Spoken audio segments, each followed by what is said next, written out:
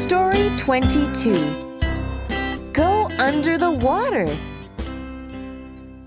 I can swim, but I am afraid of putting my head under the water. My brother is a good swimmer. He is teaching me. Take a deep breath of air and hold it, he says. Now put your head under the water.